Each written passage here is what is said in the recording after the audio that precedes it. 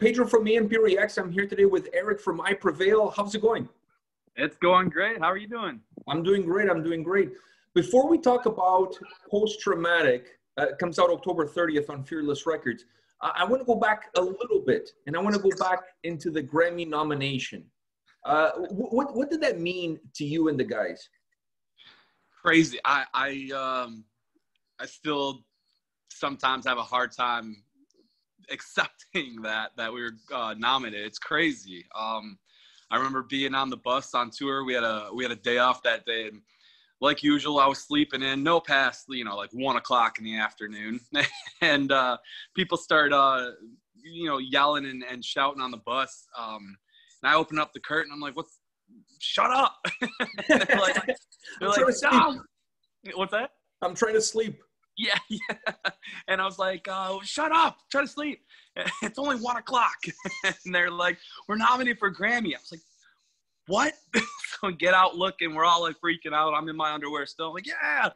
And then uh, shortly thereafter, found out we were nominated uh, again for. I think it was. I think we found out about Bow Down, the single first, and then and then the album, and and um, it just it was it's crazy, you know, being able, like I didn't even get a chance to call my mom. I think my mom called me uh, before, and um, it, it's just it's cool because there's a lot of a lot of friends and family that still don't really understand what we're doing. And and they're like oh you're living on the road playing shows. That's that's cool. But now they see grammy nominated they're like you're oh oh i know what that is okay you know, you know, everybody says that they're happy just to be nominated. But let's be honest here. How pissed off were you when you guys didn't win? oh man, I can't say pissed off is the right word. I I will say being nominated in the time span that we've been a band, I, I think six years or so now, to be nominated alongside bands like Tool, like some a band that I've listened to as a kid growing up, that was that was enough for me to be like, wow, uh, what?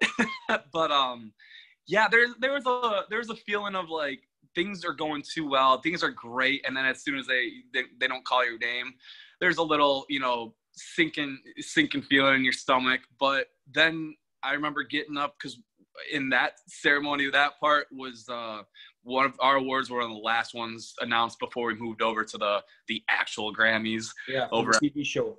Yeah, but I remember walking out of there and immediately feeling that that same excitement again, going, "Well, holy crap! There's there's so and so and and and there's so and so and we're in the same room because we're the same. We're in the same business. We're in the same league, I guess. Uh, uh, that's crazy. So." Going back i mean i guess there's a there's a few minutes of a, a bummer feeling but to again to to look around and be like these these bands are our peers. That's insane. That's insane. And I'll that feeling will never change. If, if you don't look just at an, an award show as, as a way to define the success of a band, how do you define the success of I Prevail? Oh man, I uh, that's the that's the thing. I've never, we've never written a, a single song going, man, maybe one day the Grammys will hear this, and maybe one day we'll get nominated, or maybe this and that. We never write music for awards. So I think that's why these songs, when something gets, you know, notoriety with uh, sales or with you know radio success or or Grammys, it's always a, a shock. Like because I personally never never thought of that, but I, I to look out and see, like I said, in six years we went from playing to a couple hundred kids, which at that time was unreal. Just starting out a band and touring and playing to 200 kids, like in a city you've never been to, that's crazy. But now we go and we play another country and we play a, a show in Vienna, uh, somewhere we've only played a festival one time.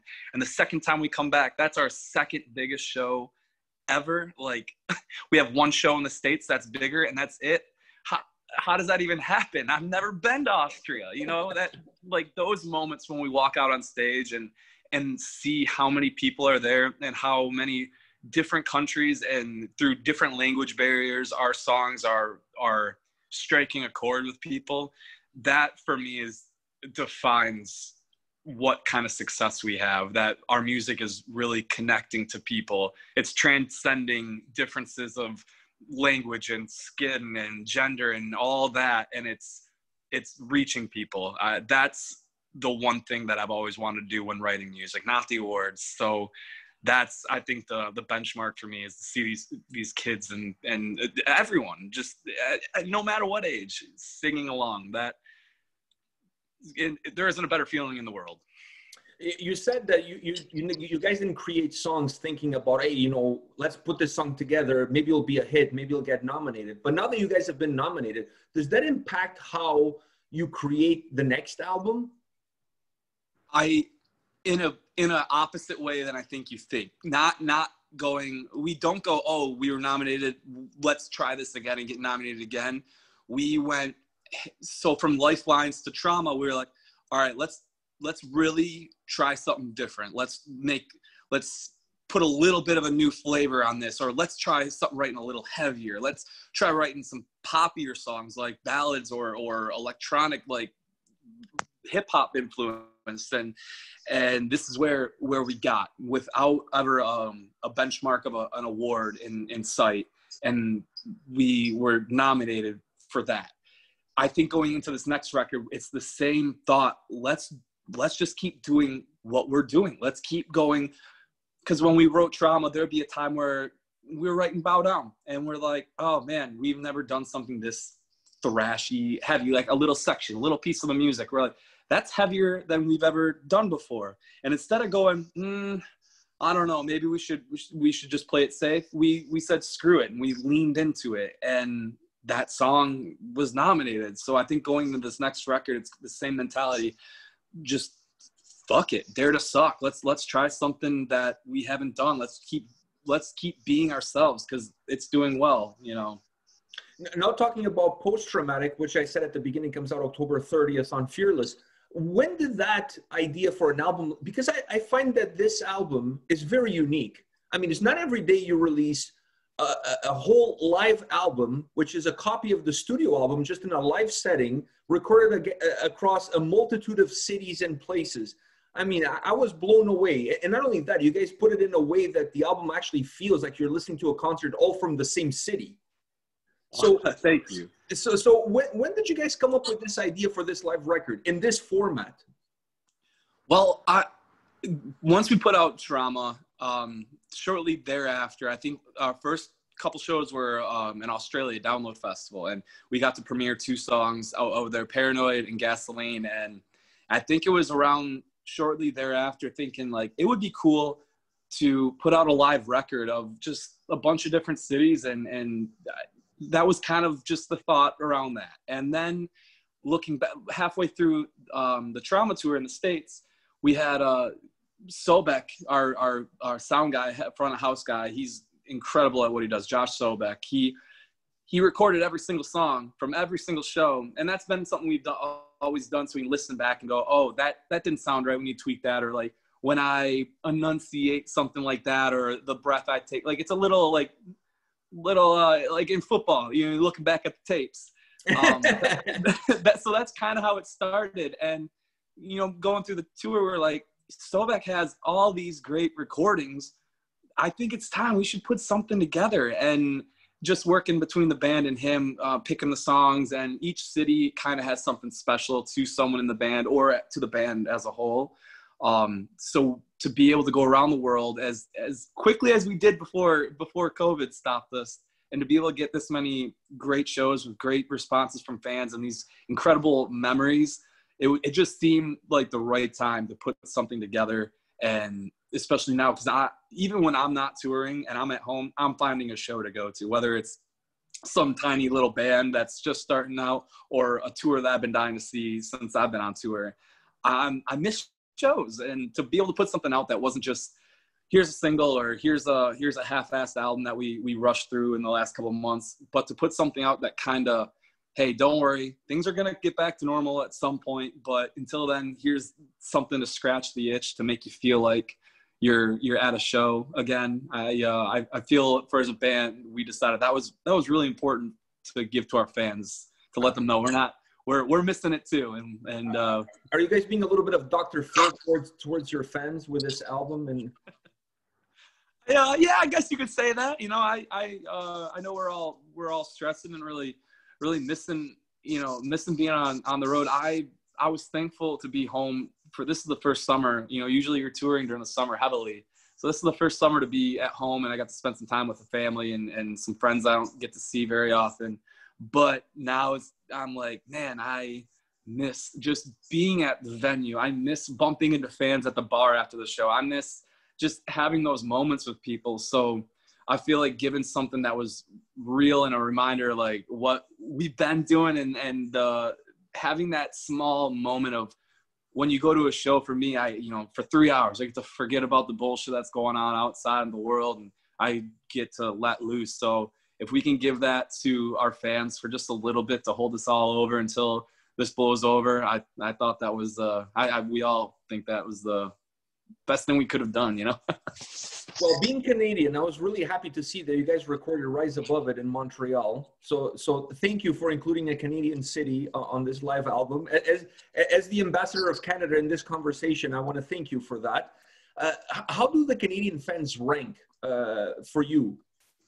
Uh, first of all, of course, you thank you um, for being such a, a, great country that supports us. Our neighbors to the north. It's crazy that you guys love us as much as we as you do. I love playing Canada. We don't play there enough.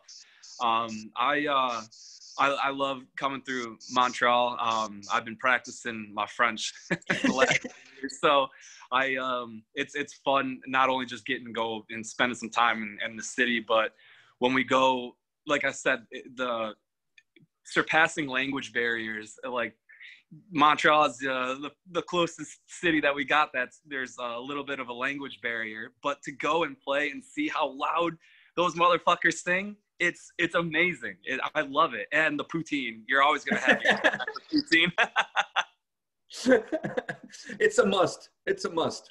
Absolutely. Every time I'm down here, I'm down in Texas with my uh, my girlfriend's place now, and there's a restaurant down the road that's like, "Oh, we got the best poutine." I'm like, "Bullshit! No, you do not." you, you mentioned earlier that you miss being on the road. What is that on the road that you used to hate, and now you're dying to experience it again? Uh, being crammed on a bus with 11 other people.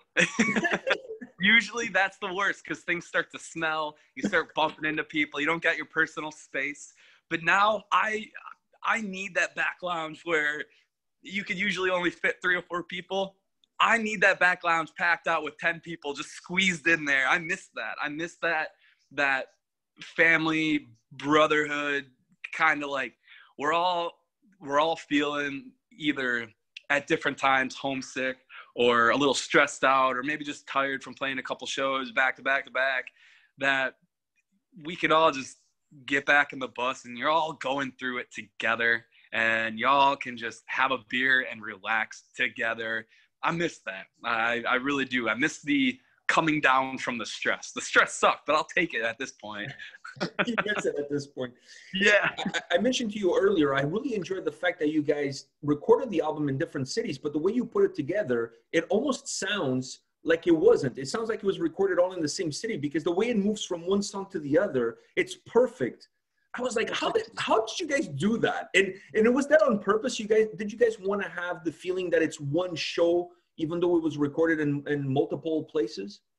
Uh, yeah, absolutely. Um, that that magic again goes to Josh Sobek. He's a he's a wizard at the at the the, the boards. but uh, um, yeah, I think I think that was something cool that we really wanted to to to have that feeling that you're at a show and in between songs you're just you're waiting. It's not like, all right, it fades out and you got to wait and skip to the next track. And it, it pulls you out of there for a second. You're back to having your headphones in on your, your iPhone or your laptop or whatever. But for you to put it in and just listen to the whole record and to feel like you're at a show, I think that's part of the magic of get sucking you back in and, and forgetting everything that's going on. You get that, that little bit of meditation or release or whatever you want to call it. So it's uh, it may not be the same as actually being there and smelling the puke on the floor and the stale beer in the air, but I guess you can, you know, spill some beer on, on your living room floor and kind of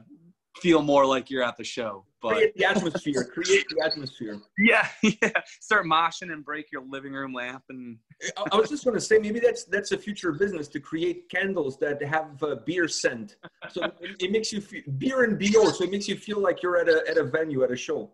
Oh, you got to cut this out because now I got to go do it before someone else does. you know, especially for the live streams, would be amazing. You like one or two before a live stream, it gives you that sense that you're at the show.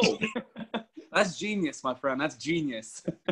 well, you can use it. I'm giving you full rights. You know what I mean? Okay. You, you, can go ahead and do it. Go to Shark Tank or something like that, and I'll send you my first case. I have to ask you this question. It's perhaps a difficult question to, to, to answer, but COVID is finished. The doors are open. You guys can go back on the road. Where's the first city you're playing at? Oh man, that's tough. Um, I if it was me personally, could pick anywhere. It would be between going right back to Europe where we left off because we we had a bunch of shows. I think we still had three weeks of shows to go. I think I, would want to just jump right back into it, so it felt like we're back back to normal. If not there, I would love to play just my hometown, uh, just because we've been, you know, living in living around Detroit um, then coming home and being stuck around there and you get to see the people firsthand everyone around you. I would love to play a show in detroit seeing all those faces that were all like bored and stuck at home to be able to be a part of the the the revival to start off right at our hometown. I think it'd be between those two one last question for you, Eric, and that is where does I Prevail go from now? Like, what's the future for the band as you see it? Oh man, um, well, I uh, think it's time to make uh, to make some more music, and then once hopefully COVID is uh, done and out of here, start start the road to normalcy, start playing some shows. Um, but for the the bigger picture, I uh, I can't wait. I, I want to get back out and playing shows. I, I want to take this band to, to heights that we haven't been to yet, whether that's selling out arenas or or traveling the world again. I um I just want to see what the next step is for us personally and, and just take it and keep growing and keep reaching and connecting to people with through our music. Well, I want to wish you all the best of health and luck and success with this live album. I think you guys did a magnificent job. You guys are always pushing the boundaries. And I felt like with this live record, once again, you're pushing the boundaries of, of how creative you can be with a live album. So I want to congratulate you and the guys for that. And, and thank you for taking the time to chat. Hey, thank you so much for the kind words, man. Uh, thank you so much. Um, thanks for having me and uh, the, the support of the band. That it means a lot. So thank you, up and down, profusely. Thank you. And for everyone listening, thank you for giving us a chance and continuing giving us a chance. And go um, pick up the album. Yeah, yes. And if you got the chance, go pick up the record. Um, we put out a bunch of vinyl for it too. I, I picked all the vinyl colors and and uh, sorted that out. So hopefully you go check those out too. All right, man. Take care. All the best. Yeah, you too. Take care. Much love. Thank you. Cheers. Cheers.